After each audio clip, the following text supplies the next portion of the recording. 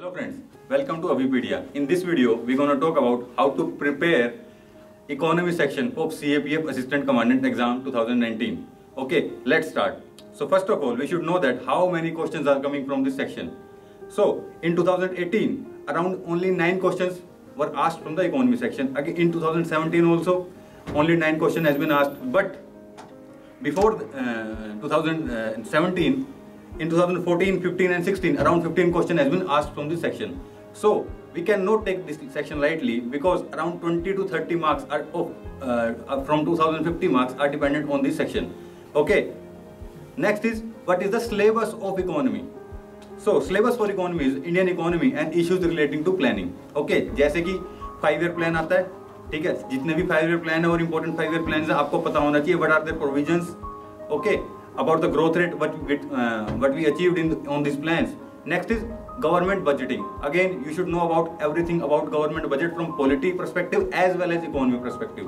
Apart from that, you need to prepare the budget of 2018 and 2017 in very detail because they can ask the comparative analysis of between those two budgets. Okay, next is financial system. In financial system, you should know about our banking system, our security market system, and you should also know about the capital as well as money market system, okay?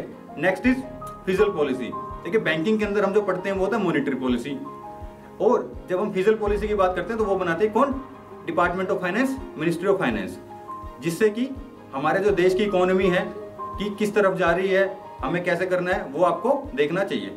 Next है taxation taxation के अंदर direct taxes indirect taxes specially the taxes which has been subsumed under the GST and but what is the effect of GST ये आपको देखना है। Tax system के अंदर आपको ये भी देखना है कि कौन सा टैक्स कब लगा था। ठीक है, आपको पता होना चाहिए कि सेकंड जो न्यू स्कीम ऑफ़ डेवोल्यूशन आई थी, ठीक नाइनटीन के अंदर, वो क्या है? टैक्स सिस्टम के अंदर ही आपको पढ़ना चाहिए अपना फाइनेंस कमीशन उसका पॉलिटी वाला पार्ट और साथ में उसका फाइनेंस वाला पार्ट ओके नेक्स्ट है monetary policy in India again जैसे मैंने आपको पहले बताया बैंकिंग सिस्टम के अंदर जो बैंकिंग सिस्टम के अंदर एक स्पेसिफिकली टॉपिक होता है मॉनिटरी पॉलिसी इन इंडिया और ये आजकल बहुत इंपॉर्टेंट इसलिए हो गया because we have a dedicated body ठीक है मॉनेटरी पॉलिसी कमेटी जो अभी बनाई गई है पिछले से पिछले साल। Okay in 2018 17 we have created monetary policy committee to contain and to target the inflation by targeting the inflation we are now controlling the monetary मतलब कि money supply in our country and from that we are guiding our economy to the desired path okay next is foreign trade and international organisation when we talk about foreign trade you should know about key what is the export basket of india and what is the import basket of, india you should also know about the decreasing order of this what we are exporting more and what we are, what we are importing more. Apart from that, you should know about the balance of payment. With, with which country you have the we have positive balance of payment and with which country we have negative balance of payment. Next is international organisation अब देखिए foreign trade से ही related बहुत सारी international organisation जैसे world bank international IMF इसके अलावा हमारे पास है डब्ल्यू ये सब आपको देखना पड़ेगा डिटेल में इनके हेडक्वार्टर क्या है? इंडिया के इनका, कितनी मेंबरशिप है? आईएमएफ के इंडिया के अंदर कितने शेयर हैं? वर्ल्ड बैंक में इंडिया का क्या रैंक है? एशियन डेवलपमेंट बैंक में इंडिया का शेयर कितना है? ठीक है? अपार्ट फ्रॉम दैट नई भी आ रही है ब्रिक्स बैंक है new development bank A I I B आया है ठीक है? इन सबको आपको ध्यान से पढ़ना है। इनके ऊपर आप कुछ एमसीक्यूज एक्सपेक्ट कर सकते हैं। देखिए 20 नंबर आएँगे मतलब टेन क्वेश्चन आएँगे। उसमें जो दो नंबर का एक होगा तो अराउंड एक क्वेश्चन तो आप इस foreign trade and international organisation से एक्सपेक्ट पक्का कर सकते हैं। ठीक है? नेक्स्ट हम जो बात करेंगे कि इसके अलावा कुछ जो स्पेशल फोकस टॉपिक हैं सीएपीएफ के लिए वो क्या है? When it comes to economy section तो सबसे पहली बात होगी फाइव ईयर प्लान ठीक है? फाइव ईयर प्लान आपको, जैसे मैंने पहले भी कहा कि आपको पता होना चाहिए। सेकंड है schemes related to financial inclusion ये इंश्योरेंस स्कीम भी हो सकती है, ठीक है? ये नॉर्मल स्कीम जैसे प्रधानमंत्री जनधन योजना, ये भी हो सकती है। ये अटल ज्योति बीमा योजना भी हो सकती है, कुछ भी हो सकता है। तो जितनी भी फाइनेंशियल इंक्लूजन के लिए जो स्कीम्स आई है, वो आपको पता होनी चाहिए। नेक्स्ट है budget and its terminology budget and its terminology इसलिए इंपॉर्टेंट है क्योंकि बजट के अंदर इस बार हमारा आया इंटरिम बजट इंटरिम बजट क्या है? वोट ऑन अकाउंट क्या है? डिफरेंस क्या है दोनों के बीच में? अपार्ट फ्रॉम दैट कितने टाइप के डेफिशिएट होते हैं? फ़िज़िकल डेफिशिएट बजट डेफिशिएट ये सब आपको पता होना चाहिए, ठीक है?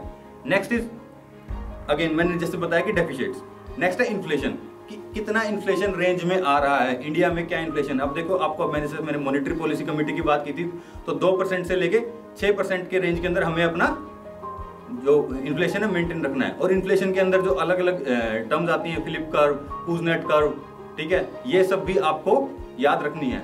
Kuznets curve is related to the development तो वो आपको ये सब, जितने भी कर्व्स हैं, ये सब याद रखने हैं। नेक्स्ट है indexes again world economic forum के बहुत सारे इंडेक्स आते हैं वर्ल्ड बैंक बहुत सारे इंडेक्सेस लॉन्च करता है, ये सब आपको अच्छे से ध्यान में रखना है। ये आपके इकोनॉमी ही नहीं, बात बाकी जो मिसलेनियस सेक्शन है, उसके अंदर भी वो इंप्रूव करेगा।